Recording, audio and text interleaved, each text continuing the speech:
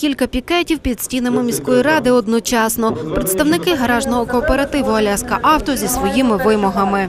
щоб наше питання е, поставило на сесію Тернопільської міської ради.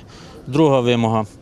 Е, Ми хочемо, щоб скасували рішення про передачу е, про виготовлення документів Тернопільбуд виготовлення документів такій сумнівній організації, як Тернопільбуд інвестзамовник, і щоб дали дозвіл людям, які представляють ці інтереси, і ми створили свій кооператив, щоб цей кооператив е, виготовляв дані документи.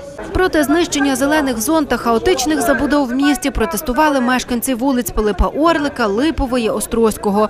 Символічно люди принесли з собою землю і роздавали її депутатам, які збирались на засідання сесії. Є по вулиці Орлика проблема, де на місці церкви будуть будувати е, дев'ятиповерховий будинок жилий, хоча це є протизаконно. Є проблема так само по вулиці Липовій, де на території садочку будуть будувати житловий будинок. В Тернополі є теж дуже багато інших проблем, і кожен прийшов сюди зі своєю проблемою. Тому ми тут. Крім того, будуть будувати, е, хочуть будувати міні-ГЕС, знищувати далі наш став. Крім того, забудовують парки. І ми повинні тут, ми тут для того, щоб це зупинити.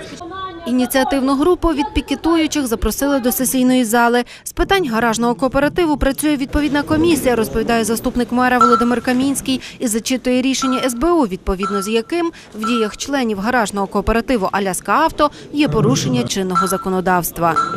Комісія одноголосно прийняла рішення одноголосно не приймати жодних рішень, доки не буде висновків правоохоронних органів на звернення Тернопільської міської ради.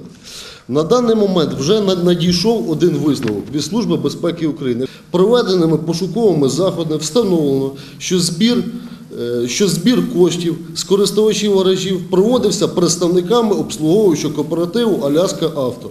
Враховуючи те, що в діях представників обслуговуючого кооперативу Аляска Авто вбачаються ознаки злочинів, передбачених статтею 190 Кримінального кодексу України, матеріали для перевірки направлені в органи МВС України. Ну 190 – це шахрайство.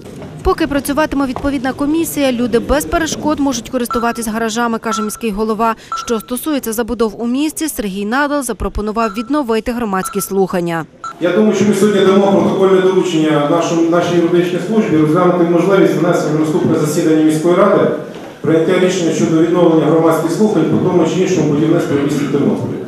Тим часом порядок денний, у якому більше 120 питань затвердили і перейшли до прийняття рішень. Серед іншого, депутати заборонили адміністраціям тернопільських шкіл замовляти їжу, яка містить синтетичні барвники, ароматизатори, підсолоджувачі та консерванти.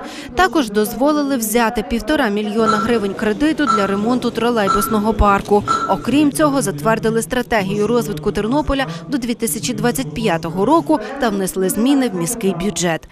Звертались тернопільські депутати і до президента, прем'єр-міністра та Верховної Ради України. Вимоги дві: звільнити від тюремного ув'язнення Юлію Тимошенко та відновити оплату видатків міського бюджету органами Державної казначейської служби. Починаючи з липня 2012 року, оплата платіжних доручень казначейством майже не проводиться. Сьогодні сума неоплати 5,5 мільйонів гривень.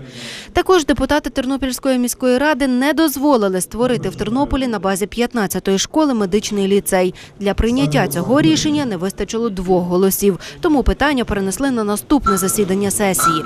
По обіді в основному земельні питання. Одне з резонансних затвердження проекту землеустрою під будівництво закладу торгівлі та громадського харчування за адресою Майдан Перемоги.